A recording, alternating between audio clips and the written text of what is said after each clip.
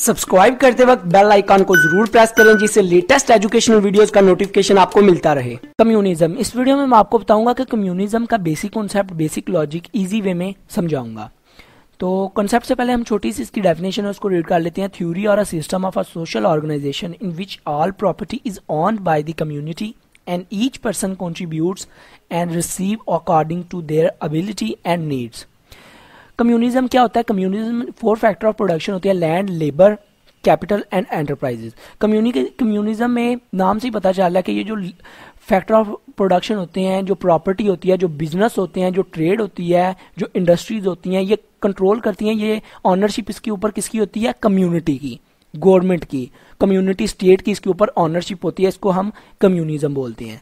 मतलब जितनी भी मुल्क में ट्रेड हो रही है, मुल्क में बिज़नेस रन हो रहा है, मुल्क में इंडस्ट्रियल कोई भी जो काम हो रहा है फैक्टर ऑफ़ प्रोडक्शन जो भी है तो उसके ऊपर जो ऑनरशिप है वो कम्युनिटी स्टेट की होती है या गवर्नमेंट की कह सकते हैं।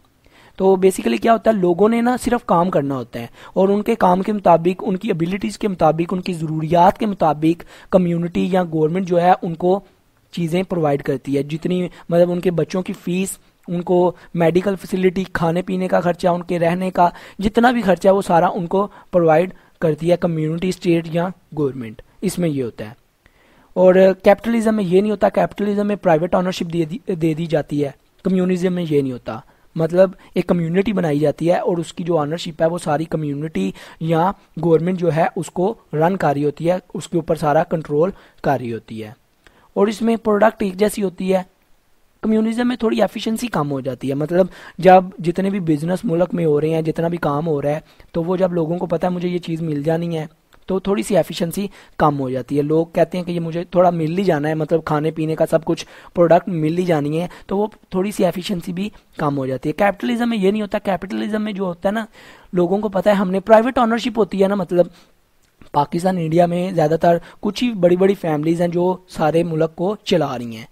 और इनकी वजह से मुल्क चल रहा है। तो मोस्टली जो है, पाकिस्तान इंडिया में ना कैपिटलिज्म को फॉलो किया जाता है ज़्यादा।